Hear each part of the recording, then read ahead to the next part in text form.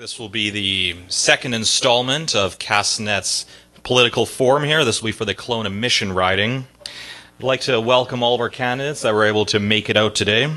To my left here, we have Mike McLaughlin representing the Conservative Party, Dayleen Van Ryswyk running as an independent, Tish Lakes with the NDP, and at the end, we have Steve Thompson with the Liberal Party. He's also the incumbent.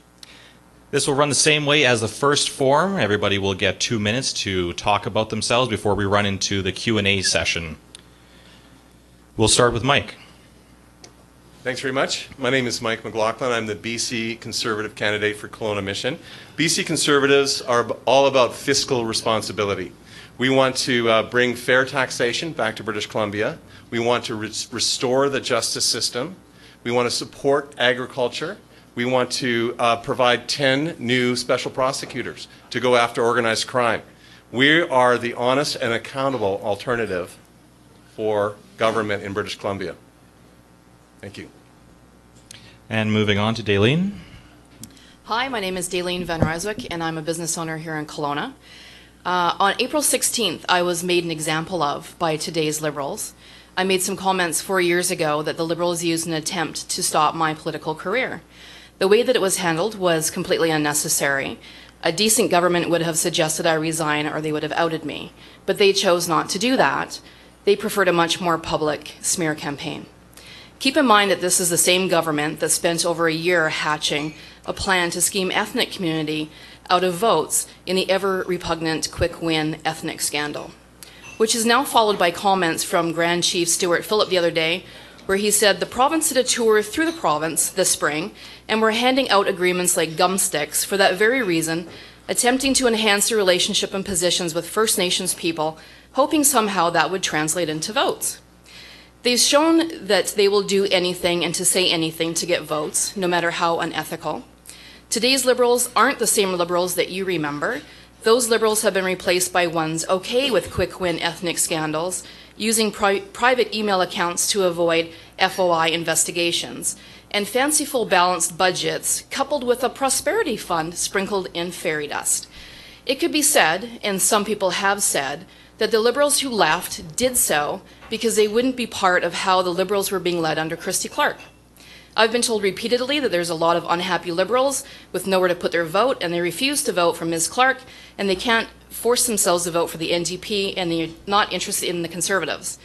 As an independent, I am not bound by party policy, and I don't have a party whip telling me how to vote or what to say. Your voice is my voice, and I am the only one who can give you a truly independent voice in the legislature. And if you've learned nothing more about me in the last few weeks than the fact that I am accountable, I am straightforward and I'm not afraid to stand up and be heard. I could have shrunk away from being beaten down by the liberal machine, but I have integrity and fortitude and stayed with the game. Thank you. And moving on to Tish. I'm Tish Lakes. I'm running for the BC NDP in Kelowna Mission. Um, our party has come forward with a fully costed platform so that when we become government, we can be transparent, we can present some clear options for the whole province and some good things for the Okanagan. I personally have uh, had the opportunity to work in both rural and urban communities in BC. I just have a tremendous appreciation for the people and, and the place that we live. It's a magnificent place, and I have no problem being inspired to work for BC. Here in Kelowna, I've worked with service providers. I've worked up front because what happens is people come and they have problems with government, and I help them solve the problems. And so I see up front when services work well, how services can work well. I see people working to try and make government better. And I also have a close-up view as to how services can improve. And I think one of the important jobs for your MLA is to be that conduit. I think the people on the ground who are receiving services, whether it's uh, something to do with your business, whether it's healthcare, education, social services, whatever it is, it's the people on the ground receiving those services and the frontline people who have the best voices how they should work. And what your MLA needs, MLA needs to do is to facilitate the communication so that Victoria is always informed. And I've actually had the opportunity to work with some high-level bureaucrats in Victoria who are doing actually that. They're actually reaching out to the grassroots. And I really can't think of any better way to solve problems. So I'm sure over the course of tonight we'll be able to talk about uh, what we're doing for agriculture, for education, all the specifics in answer to your question. Um, I think this is a case of change for the better or more of the same, and uh, we look forward to serving you well as government. Thank you. Thank you. And last but certainly not least, Steve. Thank you, and good afternoon, uh, everybody, uh, all those uh, listening, and uh, thanks to Castanet for uh, for organizing this forum. Uh, my name is Steve Thompson. I'm the candidate for the BC Liberal Party. I was born and raised here in this riding. Our family came here in 1896 uh, settled here in, in farming, and we're still farming the same property out in the uh, out in the flats in the mission that uh, we settled on in 1896. Um, I've had the real honor and privilege of being able to represent this riding for the last uh, four years, both in government and as a as a minister, Minister of Agriculture and Minister of Forest Lands and Natural Resource Operations. I really uh, care deeply about this riding. Uh, one of the motivations for uh, for running is to continue to be able to uh, serve uh, this riding and this community. I have eight uh, great reasons for uh, for running again. That's three ch- three children and, and eight grandchildren, and I want to make sure that I can continue to provide a strong future and a strong economy for them and for all of you.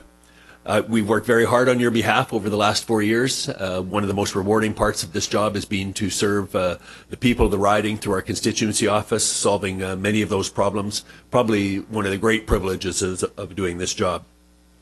We've worked very effectively here as a team, along with uh, Norm Letnick and Ben Stewart. Uh, the work that uh, was started by the Liberals in, in 2001, we've continued to build on, bringing over $1.5 billion in, uh, in key investments uh, in our riding, addressing the priorities of our riding. Uh, that's included investments in healthcare, in education, the great institutions at UBC Okanagan and Okanagan College, uh, transportation, affordable housing. Uh, so we want to uh, continue that work. We've consulted with our constituents on the key priorities going forward.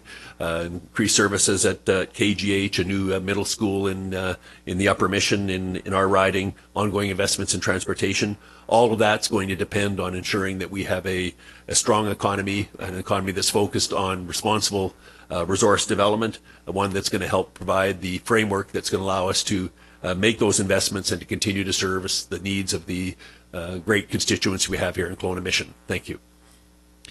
All right, our viewers now have a basic idea of where you guys all stand, so let's just get right into it now. Um, obviously, you have all uh, had a little chance to get out, do some door knocking, get to know some of your constituents. So, what is what do you feel is the most important issue in the in the Kelowna Mission riding, and what have you heard from the people? We'll start with Dayleen. Uh, well, what I've heard from some people is uh, concern about our water, and so with the issues that's facing West or East Kelowna, sorry in their water district is something that's uh, of great importance to the people in our constituency. Uh, honestly, in our constituency, that's a lot of the same issues that you find all across the province, and their education and jobs and uh, the environment, agriculture, all those sorts of things. Um, for me, I think that it is a fact that they've only sat 47 days in the legislature last year. So that means that all these issues that are important to people in our constituency are not being heard. And that is your democratic right to have that. And I find that the Liberals are just throwing our democracy completely out the window by not at least even sitting in the legislature to discuss these things that are of, of great importance to everybody around the province, not just in our constituency. So it's, uh, I think democracy is probably our biggest thing and the lack thereof. Moving on to Tish. It's hard to pick one. I'm going to pick sustainable economy uh, as a theme. So we look at things like Buy BC, Grow BC, the NDP programs, and the fact that our orchardists want to be able to continue.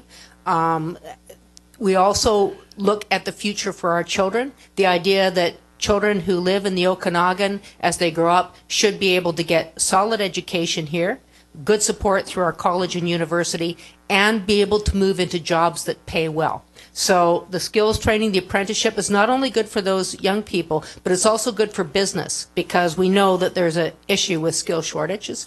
Um, and I believe that we can work to, for the economy and the environment. So when we look at issues like water, um, again with our farming industry, with other things, and with forestry and even with mining and all those other things, I do believe that we can work together to make it that we work combined efforts with the environment and the economy, not in competition.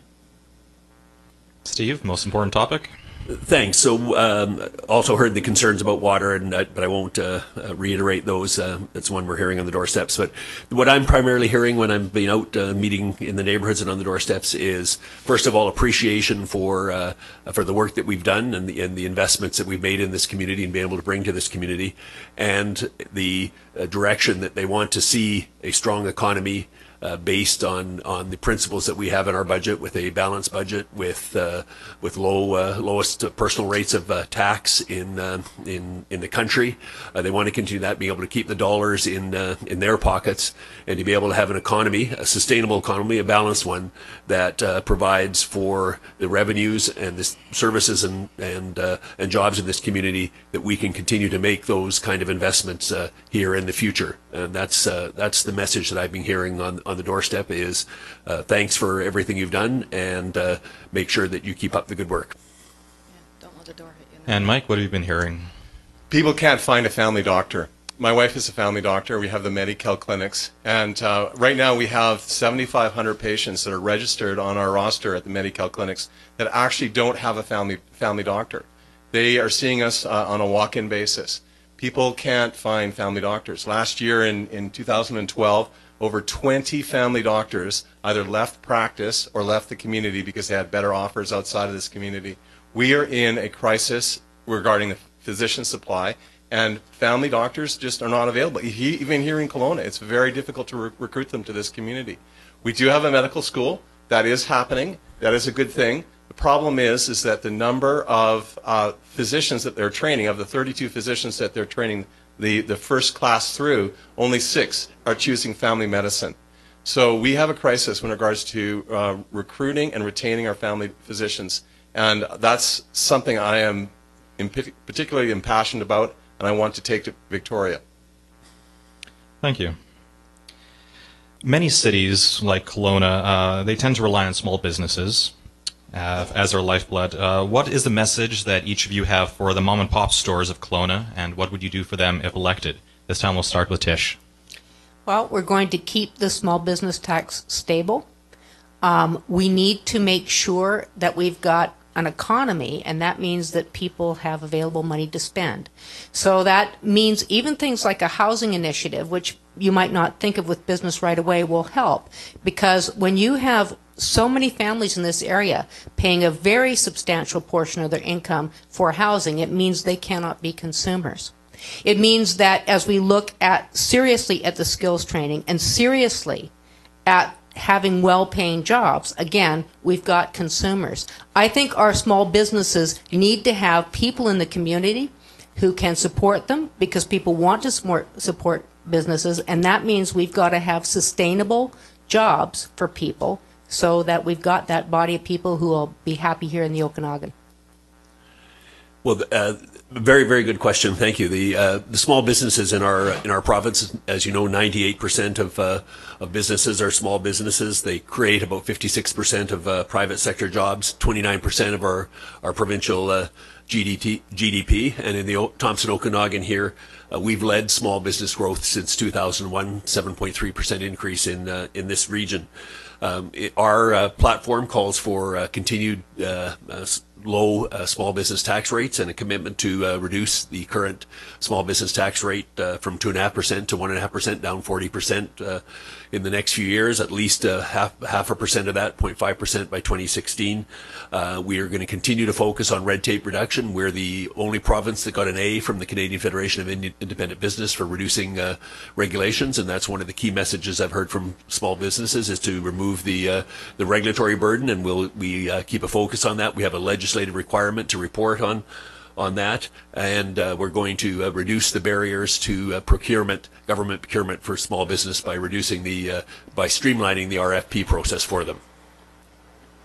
Moving on to Mike. Okay, so uh, the Liberals promised to eliminate the small business tax by 2011, and that uh, did not happen. so it's a little rich for me to for me to hear that they are going to they are going to eliminate the small business tax. Either you do it or you don't. So I think that uh, small businesses, uh, like many people on limited income, uh, suffer from having to pay the carbon tax. BC Conservatives would eliminate the carbon tax. Carbon tax is a regressive tax. That means that it hits people of lower income harder than it does people of higher income, especially in the interior and uh, in the north. It's difficult for people to uh, to take advantage of some of the transit and some of the other initiatives that you see in the lower mainland from uh, um, TransLink, etc. So I think that if we eliminated the carbon tax, that would provide uh, relief to uh, small businesses. They wouldn't have to pay that additional burden, and they would be more competitive with uh, businesses outside of the province that aren't paying the carbon tax. We're the only jurisdiction in Canada and in North America that, that has a carbon tax, so that makes us less competitive. You want to help small businesses get rid of the carbon tax. I'm a small business owner, and in 2009, the Liberal government, in their last election promises, promised to make our small business taxes zero. Um, and that was April 2012. it was supposed to happen, Okay. but it hasn't. And now they're promising to take it from 2.5% to 1.5%. Um, they make an awful lot of promises that they don't keep. And uh, they make a lot of promises right around election time. So you can take that for what it's worth. But I'll tell you right now, the HST, when that was dumped on small business, was not any doing anything for red tape. That's for sure. Uh, I just enjoyed uh, what um, a few weeks ago putting my tills back all to GST and PST. The cost it has been to small business with this HST fiasco has been a nightmare, and it's been um, certainly not a pleasant thing to go through. And that was courtesy of the Liberal government. Thank you. Uh, we're going to switch gears here. We've just gotten in a message on Twitter from Tim Krupa. What will you do to close socioeconomic gaps between Aboriginal and non-Aboriginal peoples? We'll begin with Steve Thompson. Thanks. Well, uh, we've uh, had a very um, focused process in terms of working with First Nations and building capacity and, and economic opportunities for, for First Nations all across the province uh, through the uh, through the new new relationship. Uh, focus on uh, completing new treaties, uh, seven new treaties. Uh, also looking at a process of what we call um, interim treaty agreements and uh, economic development agreements uh, with uh, with First Nations to help them build the capacity to participate in uh, in resource uh, development. We we will continue to focus on that because that's what we're we're hearing across the province is making sure that they are are participants in in the in the resource activity in the province and those agreements, both with interim agreements, economic development agreements, uh, forest uh, revenue uh, sharing agreements with First Nations are all helping uh, helping do that uh, across the province, and we're seeing great uh, great support and participation in those uh, in those initiatives. Moving on to Mike. So yeah, First Nations communities are very valuable communities within uh, the province of British Columbia, and we need to uh, involve them in the all of the different opportunities that we have here in the province for economic development. So uh, we support the No- Northern Gateway Pipeline, and the Northern Gateway Pipeline is a uh, economic development project that would benefit First Nations communities in the north. They would be the ones that would be supplying jobs, uh, that, or the supplying workers to the jobs. They would be the ones that would uh, benefit from having um, uh, partnerships with the companies that uh, that would be doing business in that communities, in those communities, to put the pipeline through, and that would be a significant benefit for them in the north. So I think, uh, as a BC conservative, if we need to develop our resource economy here in British Columbia, and we need to share that wealth with all of British Columbia, including First Nations communities. Moving on to Dayleen. I think a lot of people have been forgotten about with the Liberal government, and it's not just First Nations, it is um, the middle class as well, which is fighting a war on survival. Um, when all this broke loose about me in some comments that I made online, it was to do with First Nations. And they were taken out of context because I had said that uh, I thought First Nations issues hadn't been dealt with fairly, and I still agree with that it's been a bit of a hotbed issue for sure, but I think you can't uh, deal with these issues if people are afraid to talk about it. So, as a as an independent, that makes me an advocate for the people in the Kelowna Mission. And if this is a big issue, First Nations issues with people in the Kelowna Mission, then I'm happy to to address that. we aren't going to get anywhere in this country if we don't sit down and start talking to each other and talking about the really hard, tough questions that uh, might be uncomfortable. But we need to talk about it because it's it's making a very deep divide in this country. And Tish? It was the NDP in the 90s that made significant moves towards treaty negotiation and resolution because we've got to have that for the sake of uh, stability and for economic development in the province of British Columbia. And that will bring us forward to addressing both the environmental needs and the economic needs and being partners with First Nations. Uh, we've had clear examples here in the Okanagan of First Nations being able to organize, get themselves forward, and get things going. Um, we also know that there's a lot of First Nations communities that need significantly greater help because they've been left behind. We specifically said in our training programs we will target all youth and there will be components for First Nations and for women. So we have a good relationship and a good basis, I think, to work with First Nations and so that the province can move together as a whole. Thank you. Job skills training is something we've heard a lot about recently. Uh, because as the world advances, skills continually need to be upgraded in order to keep pace. What do you think is the best way to tackle the task of ensuring new and current workers are up to date and able to meet labor needs? We'll begin with Mike. So we have a system in British Columbia that is a supply uh, system of education. That is that uh, we have colleges, we have uh, training uh, programs, we have universities, and they uh, invite students to apply for different programs, and they graduate those students from those programs, and so they're supplying those uh, students to the market. The challenge is is that in our changing market environment, is that it's much more of a demand situation where the market and various different industries have skills demands. And those, uh, those uh, skills aren't necessarily being supplied by the, uh, the current system. So we need to uh, revisit how we do skills training. We need to work in partnership with industry and uh, the marketplace to uh, develop programs where students and job seekers can apprentice in industry and Industry can help provide them the skills. Industry can pay for them to be educated in those skills, and that therefore industry gets the skilled workers that they need. That uh, approach would be, I think, more effective than uh, just simply graduating a, a, a, class of students and expecting industry to hire them. Dayleen? Well, industry is telling us that we have an 80% jobs of tomorrow will need some sort of skills training. And our apprenticeship, apprenticeship completion rates have dropped to 35% under the Liberals. Uh, I, I suggest that we increase apprenticeship programs. We encourage that. And skills training obviously is a very important thing. Um, it's estimated that between 2010 and 2020 that the demand for skills skilled workers will outplay, outpace supply by 61,000 workers. And relying on foreign workers to fill those jobs when we should be training our people here uh, is ridiculous we um, we are jobs without people and people without jobs, and that needs to change. Tish?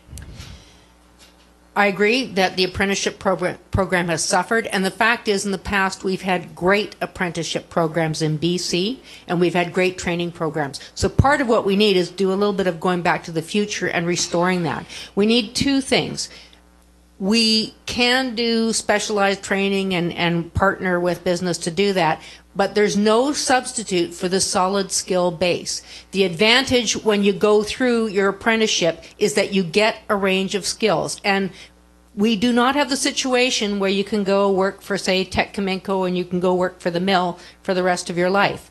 Young people now are expecting to be able to move from place to place in British Columbia, and that's why they need a solid base of solid skills training. And that, of course, we've got the college here. Um, all the things that we're going to do to enhance apprenticeship and trades training can only help the college, and I think we're going to see good things for BC. I also think that as far as immigration go, bring people in to stay here rather than temporarily. Thanks. Good, good question. And uh, it, it is a, a critical uh, need for the future. Uh, as I've worked in the, particularly in the resource sector with the with the ministry that I'm responsible for, meeting with the resource companies around the province, the identified uh, skills needs and gap uh, that is there in the future is one that is probably one of their their biggest uh, uh, constraints and one of the biggest things they need challenges they need to deal with going forward. We've invested uh, uh, $500 million annually in the uh, in skills training and development programs. Uh, we've recently uh, committed $75 million to upgrade training and equipment uh, in the in in institutions across the province. We need to continue to make sure we're, we're training on the most up to date equipment. Uh, we need to work uh, effectively with partnerships between industry and uh, and the educational institutions to make sure that we have the uh, the right skills uh, training as the as the students and apprentices come out of the uh, out of the programs. there's going to be about one million job openings coming up in the next. Uh, by 2020, 43% of that uh, in the uh, in the skilled trades. So clearly, one that is going to require a focused effort and one that will require strong partnerships between industry, between educational institutions and the provincial government. Thank you. This next question kind of follows up. It has to do with jobs and at least job training possibly in the future. Uh, it's no secret that in the Okanagan, the orchard industry is very large. Um, there's been talk about genetically modified organisms. Are you in favor of GMOs? Why or why not? We'll start with Dayleen. Uh, no, I'm not in favor of GMOs. I am a vegetarian and I like to eat a lot of organic food. And GMOs definitely contradict uh, organic gardening. In fact, uh, it will probably bring an end to that. Um, when you have all these genetic modified organisms, uh, it is um, it's changing the food that we eat, and we need to to keep it not with genetic modified organisms, obviously. And we see that in the salmon too. You see with the farming and um, I'm a firm believer on doing things organic and just leaving Mother Nature alone, and I don't support GMOs. Tish? We're able to produce some great new apples without having to use uh, GMO products. Uh, the ambrosia is one of my favorites here in the Okanagan. Speaking directly to farmers, one of the things that is happening in our agriculture is that there's specialty and niche markets happening. We have to protect the integrity of those markets, and there's a clear issue with GMOs. And our farming community is going to be very upset with that if we don't protect the integrity. The federal and provincial NDP have strongly supported in favor of consumer labeling. labeling. Uh, we know there's products entering through the food chain. Um, there is serious questions in the public mind about testing, and again, one of the examples of what the NDP has done with respect to testing is preserving the therapeutics initiative, which is a different program. Again, the concept that as we're moving forward, we have to support the idea of independent transparent testing for both GMOs and a lot of the environmental things that are going on. Steve? Thanks. This is uh, an issue that is uh, under federal jurisdiction in terms of decisions uh, around uh, the definition, around labeling. Uh, we have, uh, and I've talked extensively with, with the Fruit Growers Association and other growers on, with respect to their concerns around the uh, the current proposals. Uh, we've communicated those concerns to the uh, federal minister, and um, and I know that uh, Norm Letnick, as uh, Minister of Agriculture, has has communicated directly to the federal minister and all all provincial ministers on this. It, it is important to make sure that the definition is understood, support the idea of labeling. Uh, but uh, again, that we need to make sure that we continue to work and have a strong, positive working relationship with the uh, with the federal government as the uh, as the decisions are made. Uh, the federal minister certainly understands the the concerns from this area and from from our growers association and or organic growers. And Mike. Yes, I'm against genetic, genetically modified organisms in our food chain. Uh, and I think, especially here in the Okanagan with the agricultural industry and the uh, fruit growing industry, we need to uh, stick with what we've got, and it's a, it's a great product. Um, we have a family um, urban garden, and we grow vegetables for our community. Uh, we sell them out, the, out of our gate. Um, and uh, if we had uh, genetically modif modified organisms that were passed into our, we wouldn't no, we wouldn't be able to tell people that we were actually uh, providing them organically grown food. Uh, so uh, it's a I think a concern to many, many people here in the Okanagan, and I, I think uh, uh, all of uh, us uh, po- politicians here in the Okanagan should be against ge- genetically modified organisms. Thank you. We're going to switch gears a little bit now, move into education. It's always a hot topic around elections and whether it's a shortage of teachers or the call for lower tuition fees for college students. We'd like to know what would you say to students or teachers that watch this? We'll start with Tish.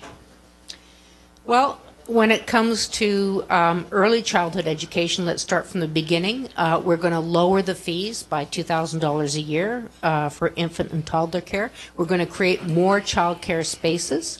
Um, in grade school, we said we'll restore some of the cuts and introduce a thousand new positions because there are problems with class size and there are problems with the loss of special assistance for kids with special needs, and we really have to fix that teachers need us to be clear to do that we're going to do something about that.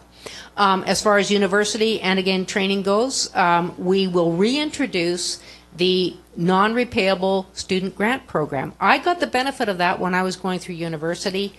I think this generation that is facing a tougher job market should get that same advantage and it will pay off. For one thing, as students graduate with less consumer debt, again, they're going to be able to be better consumers. Um, and then I've already mentioned the skills training, and I'm, I'm getting a wrap, so I'll end it there. Thanks. Moving on, Steve. Sorry. So, oh, sorry. Go ahead. Okay, sorry. Thanks. Uh, yeah, the, the investment that we make in um, in education is probably one of the most critical investments we can make because we're investing in our in our children and in our uh, in our in our future. Uh, we've in the Okanagan here with the investments we've been able to make in our in our institutions with uh, with UBC Okanagan and Okanagan College, building that uh, capacity. When you look at the vision that was started a number of uh, a number of years ago to first uh, bring forward the idea of a, a of a world leading uh, university uh, institution here in in in Kelowna, uh, going from 3,000 students to now over 8,000 students uh, uh, registered. Uh, to be able to make that investment so that students can can study here closer to home and and and stay at home, reducing their costs. We need to make sure that we continue to invest in those in those facilities. Uh, we have capped tuition fees at uh, at uh, two percent. Um, we need to look as uh, as we go uh, forward. We have lots of provisions around the student loan repayments, and as the as we build the economy and create additional jobs and revenue, then we need in the future to look at at aspects of the of the student loan program when we have the financial ca- capacity to be able to be able to do that. It also takes, as you know, negotiations or discussions with the federal government. Thank you. Moving on to Mike. Well, one of the things that uh, uh, the Conservatives would do is they would eliminate the Pacific Carbon Trust. The Pacific Carbon Trust is a organization that actually receives money from uh, educational institutions like schools uh, to uh, help uh, fund corporate innovation in, in terms of reducing emissions. So if we got rid of the Pacific Carbon trust and we got rid of the carbon tax, we would not have, uh, these educational institutions would have more resources to be able to invest in, into their students. So if we, when we are retire uh, as a generation, we, uh, we will need students and workers with high paying jobs and good skills to, su- to support our retirement. So unless we invest in them, we're failing our own uh, future. Dayleen. We have the worst student teacher ratio uh, in Canada. So that's uh, great to know, eh? The Pacific Carbon Trust that Mike was talking about uh, funnels about $10 million a year from schools and pretty much just gave it to corporations. We've had cuts in advanced education and innovation technologies of $46 million over the next three years. We have the highest student loan interest rates in Canada, and we are going to leave our students with about $27,000 on average in debt. Um, that's of course low. Depends on what what you're going to go into. My son wants to take a course, and it's thirty-one thousand dollars. I don't know too many 18, 19 year olds that can afford uh, payments which relate almost to being like a mortgage of thirty-one thousand dollars and up. If you're into medical like Mike is, man, the sky's the limit, and those kids are really going home with big, big loans, and that's what we need to do something about. I would like to see student interest rates uh, dropped, if not made zero. We are in the time right now when we have the lowest consumer interest rates, and I don't know why that's not being passed on to students. Thank you. Uh, moving on to transportation. Since 2001, the population of Kelowna has jumped about 20%. And if you ever try to drive down Harvey uh, on a Friday afternoon, I'm sure you know what we all mean. Do you have any plans to get more residents out of their cars and using public transit? And what would be the next priorities when it comes to highway spending? Well, I, I understand they have a, a new car share program in Kelowna, and I think that's an, an excellent initiative. Uh, that's uh, someone who has a, a passion for the environment and wants to make a difference by organizing uh, entrepreneurial organization of a, uh, of a of a social enterprise organization to help people share their vehicles and get them out of their vehicles so they don't have to use vehicles and only use vehicles when they uh, have the need of one. So that kind of initiative is the sort of thing that that uh, BC Conservatives want to support. We want to support people taking their own initiative to bring about uh, the reduction of emissions and to bring about uh, a better environment. That's uh, that's our commitment. Aileen? Um, well, I've heard from a lot of people that if buses and transit was more convenient, then they would use it. So, you know, based on that, if we had more park and ride, then maybe people would uh, take the bus more often. It's unfortunate, but in our community, it is pretty spread out, and it is easier to take a car. Um, how do you get people into into the buses? It's it's like it's the most difficult thing to try and do. It's to break them the habit of, of riding in a car. Uh, I think park and ride really is the best way to do that.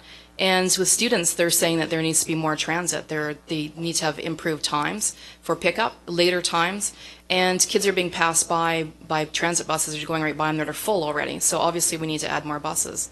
Um, we just need to stop our dependency so much on the car, but I think that's going to be a tough one to shake. Tish? Well, I want to echo the appreciation uh, for the car share program, and also uh, personally, I really like what the city has done with bike lanes. Um, I think that's great, and uh, I'm burning a lot of carbon now as a candidate, but I hope to get back on my bike uh, later. Um, we have made a commitment that we will take part of the carbon tax and put it toward transit. Uh, that's the key thing the province needs to do. And the other important component around transit, like a few other areas, there is a municipal planning component, and this is where the province really needs to work in solid partnership with municipalities so that the province isn't coming down and imposing, but the province puts forward something, works with the cities, the regional districts to make sure the transit plan is effective and then follows through to make the modifications as, as need be. I think there are people willing to get more out of their cars if we can accommodate that. And Steve?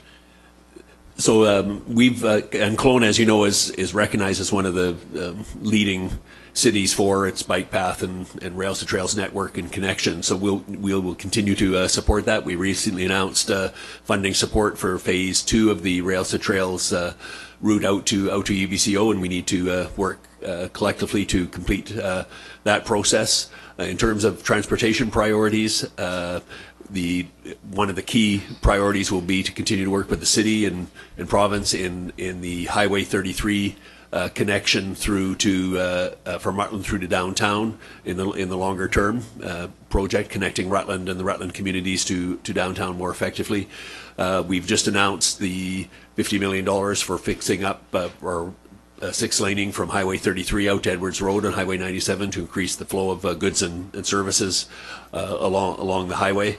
And transit will continue to take uh, investment and support, uh, but we need to make sure we do it in partnership and with a plan which involves the educational institutions, the city, uh, the public, and making sure that we create the connection, particularly out of out of Kelowna Mission into the into the downtown connections, because we do have the rapid bus service coming from West Kelowna all the way out to UBC, but we need to make sure we have effective connections for the Kelowna Mission riding into that into that service for students students, uh, uh, in particular in Kelowna Mission. Thank you. Uh, we'll be moving into the economy next. This will be a two-part question. First of all, what do you see as weaknesses in our current economic climate? And then what do you see as potential avenues of economic growth in the region as well? And we'll start with Dayleen. Well, we know that um, as far as fiscal management goes with the Liberals, we've had seven out of 12 years in office of deficits. Um, they're saying that our budget is balanced for 2013, and I think everybody can agree that it's anything but. I think it's just a matter of waiting to find out how bad it is. Is is it as bad as the NDP says, or is it much worse? Um, I don't know, and it's uh, it's very scary. When we we looked at in 2009, we were promised that we wouldn't have a deficit of more than 495 million dollars, and it turned out to be over 2.8 billion, I believe, something like that. Um, and again, the the Liberals have lied about the HST, and that's hurt hurt us a lot. Um, their fiscal management hasn't been so good, and uh, I think they have a lot of lot of things to answer for. There's a lot of unhappy people in this province, and uh, and I'm one of them. So they better start answering some questions on uh, on this balanced budget that we keep hearing so much about. Saying it a thousand times doesn't make it so. Tish? I think one of the weak, I mean, we've had some global economic issues for sure that we have to deal with, but I think there has been maybe a lack of faith in what we already have here in BC as we look at industry. And again, I go back to the notion of a sustainable economy. I go back to the notion of solid support for farming and agriculture, um, for pushing that we use the forest logs more and more for BC and lower the amount of raw logs that are going out. And again, that we have faith in a made in BC environmental system, that we set processes in place with limits because we can work together to make a better British Columbia.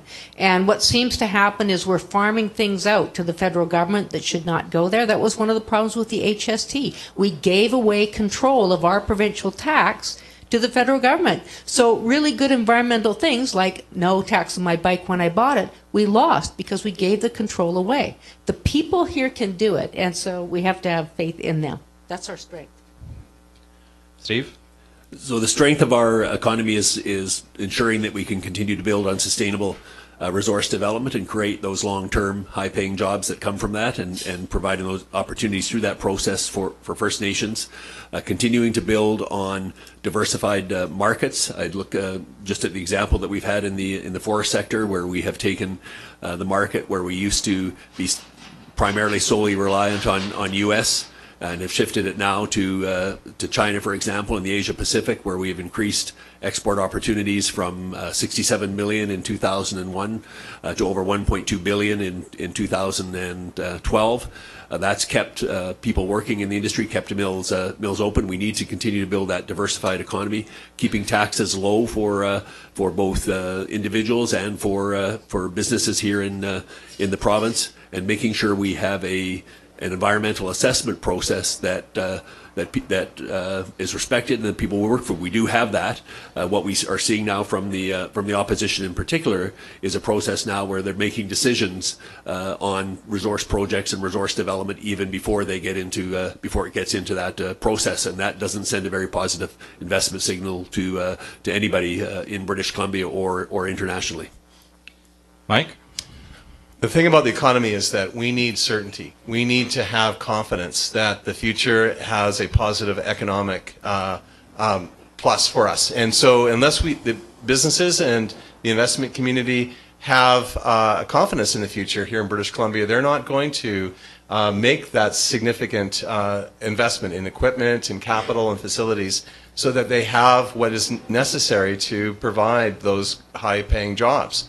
And right now, we have both uh, the NDP, which are uh, projecting four years of de deficit spending, and the Liberals, who are putting conditions on the Northern Gateway pipeline that uh, have created a lot of uncertainty in our economy. And I think that's the number one issue that's uh, dragging down the economy is, is the fact that, that there's just no uh, certainty in terms of government. BC Conservative government would support a Northern Gateway pipeline. They would support uh, co the confidence that business needs to be able to invest in this province and provide those high-paying jobs. Thank you. Can I rebut something that Steve just said? Go ahead. Um, the forest industry, we've lost uh, 70 mills and 30,000 jobs. How is it that the Liberals have been supporting that? You haven't even uh, did any measurements out in the forest. You have no idea what's out there.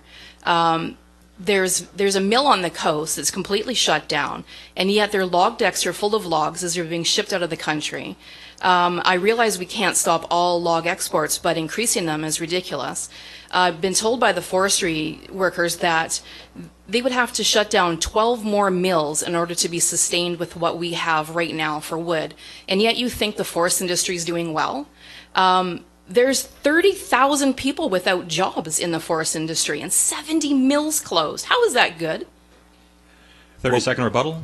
What we have done with in working with the industry is to build a diversified market for them that has kept uh, people working, kept mills uh, operating during probably one of the most uh, uh downturns, one of the most significant, serious downturns that the industry has faced with the collapse of the U.S. Uh, housing market. So building those diversified uh, markets is what's kept the industry working, kept people employed. Uh, the ability to export a portion of those uh, uh, uh, logs as as logs is also kept the full profile being harvested. That's kept people working on the coast. It's kept loggers logging and and and truckers moving logs.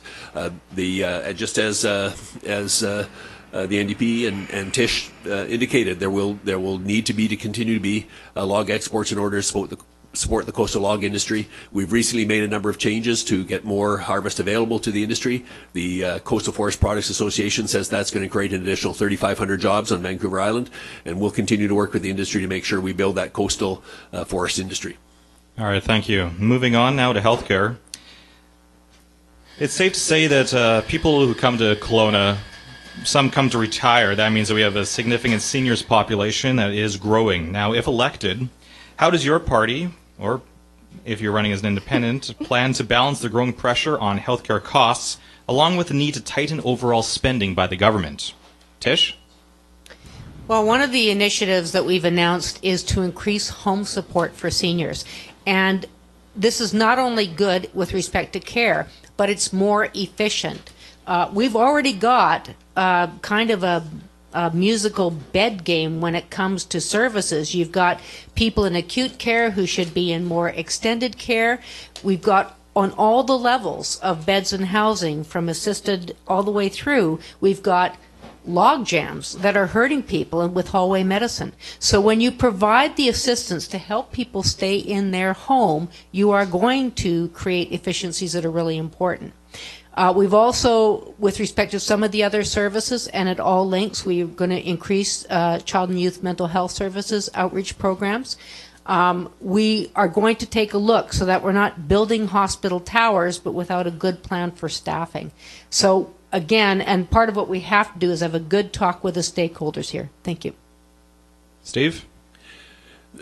So our, our despite the uh, the fiscal challenges that the that the province is facing, we're we're going to over the next three years add an additional 2.4 billion dollars to to the healthcare system. That's now incre- getting close to uh, to 50 percent of the of the provincial uh, budget. Uh, we will need to continue to work ensure that uh, that the uh, the, the utilization of those uh, dollars is delivered in the most efficient uh, way possible. That's why we've had the process, and it's been a bipartisan process with the with the healthcare uh, standing committee on healthcare looking at healthcare reform uh, that uh, um, Norm Letnick was chairing prior to uh, becoming Minister of, uh, of Agriculture, but there was uh, a bipartisan group looking at all of that. They've completed the first phase of their report. Um, I expect that, that that process will continue into into phase two, looking at how we uh, how we reform uh, the delivery to make sure that that we continue to utilize those dollars most efficiently because we can't continue to just put additional uh, additional dollars to it on an ongoing uh, ongoing basis. 2.4 billion dollars in the current fiscal climate is a significant uh, investment. We've got 132 million dollars for the general practitioner uh, for me program. Uh, our platform calls for new hospice spaces and additional uh, support for addiction, addiction services in our in the in the system. And moving on to Mike. Yeah, so uh, there's too much uh, money being spent in administration and, uh, in, the bureaucracy. We need to move some of that money that is being spent in managing healthcare to the front lines, uh, into the community. Uh, for example, at our uh, in our uh, medical clinic, we have a nurse practitioner and a nutritionist and a social worker, and they have they're funded by a program at the hospital called the Integrated Healthcare Network, and they work with the physician to increase the capacity of that physician to manage patients with complex care, chronic, uh, chronic disease management problems. So we need to, that's where the funding needs to go. We need to have it in the front lines, in the primary care area. We need more family doctors, we need more nurse practitioners, and we need to be able to build a team amongst allied health practitioners, including pharmacists, that will help serve our elderly community, our elderly population. And it's only by building that kind of capacity that we'll be able to provide the services for the uh, increasing aged population here in, Brit- in Kelowna. Dayleen? We need to do a review of where our money's going. Uh, that's painfully obvious. Um, we're putting out an awful lot of money and don't seem to be getting a lot of bang for our buck. Uh, like Mike said, a lot of it's going in bureaucracy. It is absolutely being wasted. We have 20% of our acute care beds in BC being used for alternate care, like long-term care, home support and rehab, and mental health issues. We need to help our, our seniors stay home longer, and home support access has actually dropped by 30% in BC from 2001 to 2010. And I am an advocate and would like to, um, for sure, advocate for an independent uh, seniors advocate, someone who does not report to the health minister, but rather is completely independent so we can actually find out what's going on. Our healthcare is in crisis, and we keep hearing that because that's the truth. And the wait times for surgeries is unacceptable. We've got doctors that are burned out, nurses burned out, uh, old hospitals and they're replacing, and we have new hospitals that have whole floors that don't even have beds on them. We have uh, charities fundraising for MRIs and things like that that our tax dollars should have be fully paying for. Um, we are certainly in crisis in our healthcare, and we need to address this. Thank you. Uh, I've been told we're running a little short on time, so this will be our final question. Uh, we always hear about the youth whenever there is an election. It's always about the youth vote and how they're disenfranchised with the political system. What is your response to those people who have never been to the polls before, and how would you encourage them to exercise their right to vote? Steve? the uh, it is a very important uh, component of our, our voting uh, base here in the in the uh, in the riding and in the province and and you're right that uh, traditionally they they haven't had the level of engagement or voting that uh, everybody would like to see uh, I think it's probably not just youth but I think uh, the overall level of, uh, of voter engagement at all levels is something that everybody would like to see see improved we were at the Okanagan College Students Union the other night where they've had an initiative to uh, to get people registered to vote. They, they set a target of getting a thousand students uh, registered, exceeded that target. So it's uh, it's direct initiatives. Uh, that at that level that'll help get uh, youth engagement. Uh, we need to make sure that uh, in our processes we're engaging youth, and we do that with with our teams. We do that with increasing use of of social media and if uh, as a as an older uh, person getting uh, getting used to social media now and things, it's uh, I know I've got a lot more work to do in that area in terms of uh, connecting uh, with youth in that in that process, but certainly something committed to do. but and we need to make sure that we, as we're as we're elected and and um, successful in being being reelected, to be able to make sure that we continue to have those forums where we go out and talk to youth. We've I've done that through the process, visited schools, visited um, university clubs, uh, visited classes, um, visited political clubs at school. So we'll need to continue to work and, um, and, and, make sure that uh, they understand the importance of their vote. Thank you, Steve. Moving on to Mike. Well, that's one of the reasons why I did my signing a little different uh, during this campaign. I have a, a sign that says, I like Mike.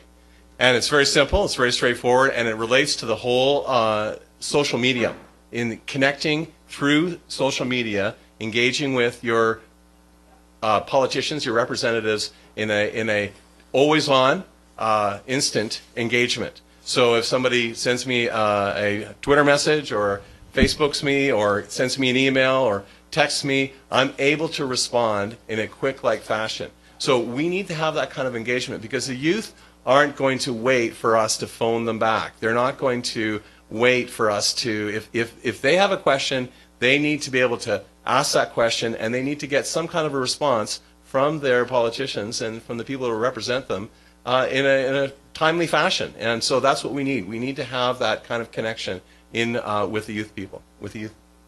Dayleen? Well, in Kelowna Mission, we know that over 50% of the people didn't vote last time. And, um, you know, I have two kids and they're pretty smart. Kids know when you're lying to them. And it seems like the only time politicians ever want to talk to students is right around election time. And that needs to change.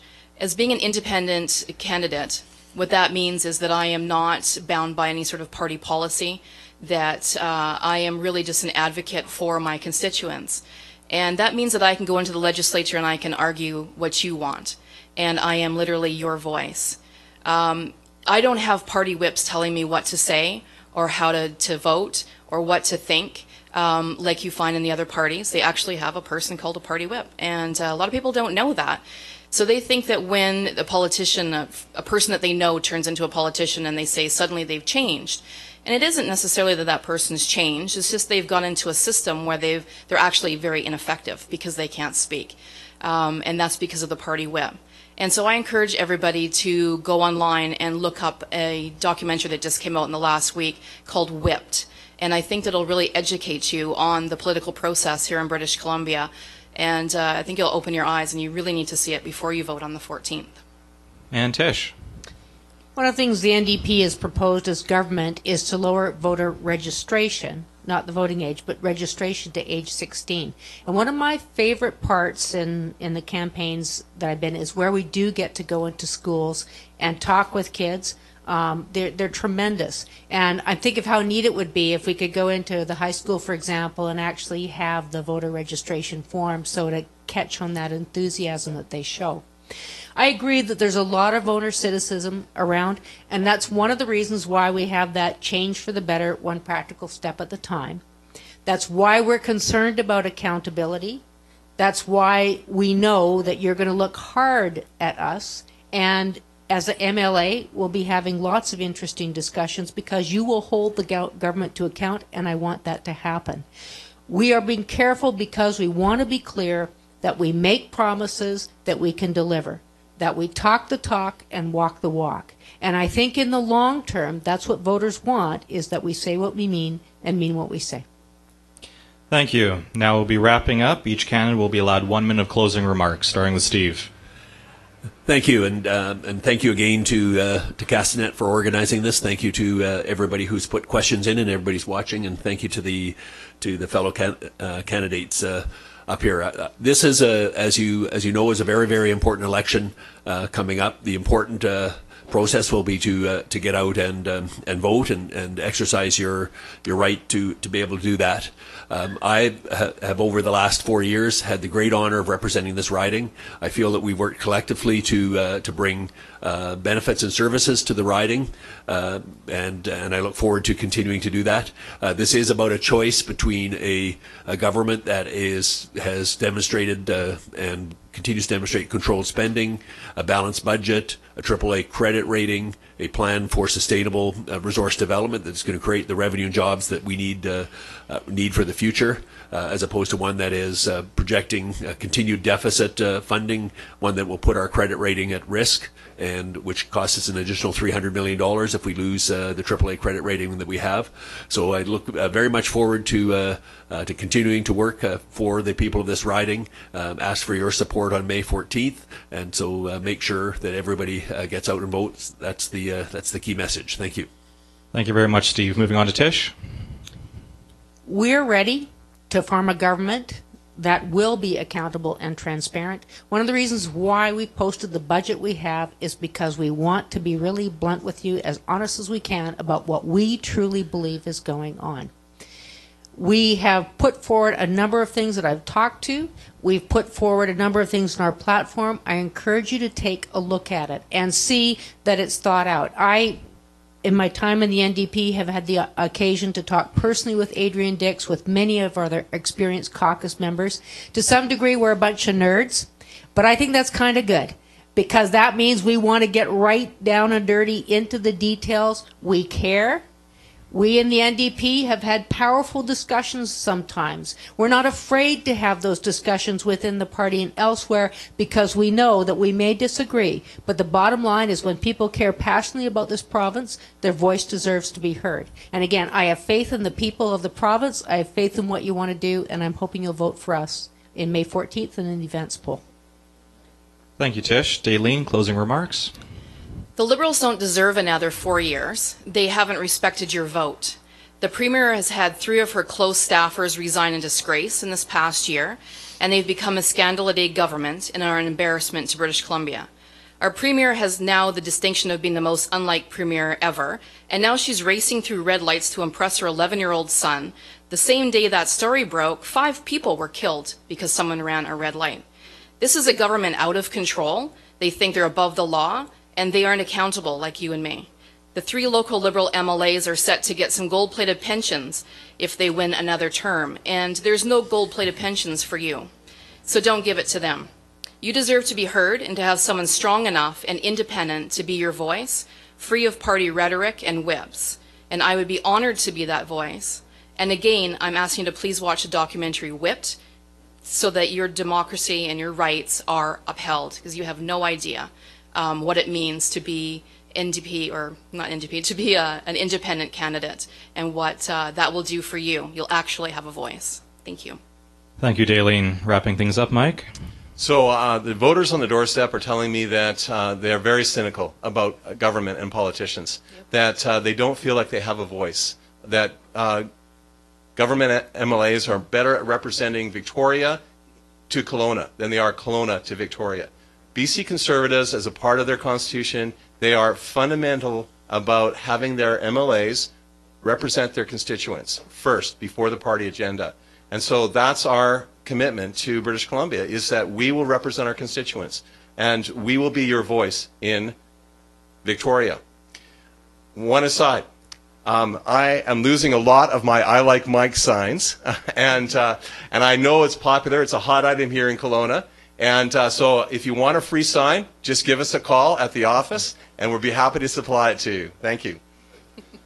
All right, I want to thank all the candidates from Kelowna Mission for coming out this afternoon.